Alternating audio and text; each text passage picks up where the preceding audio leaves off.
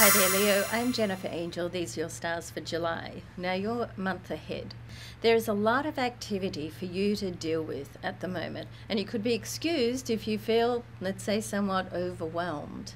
Now, love, work, and money, it's all top priority right now. Fortunately for you, you are good at handling more than one thing at a time. You're a good multitasker.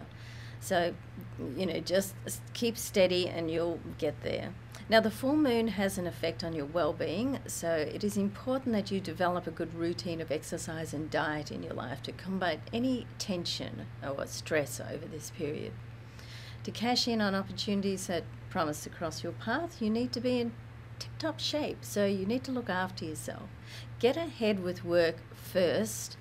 Um, work, but first look at what you can contribute so uh, rather than what you can gain, so you really need to just balance things up and make sure it's worthwhile before you make decisions there.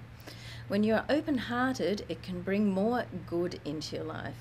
So with love, Venus, the love planet, moves into your sign at the end of the month, but the love vibration will be felt long before that. So, you know, you can expect to be in that love vibe all month. So, get ready for some romance and passion to just sweep you off your feet. So, lots happening this month, Leo.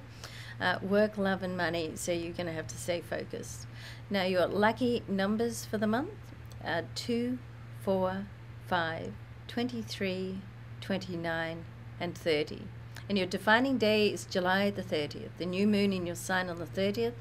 And Venus moves in on the 29th, which makes this a great time to connect with people and build relationships on all levels of your life.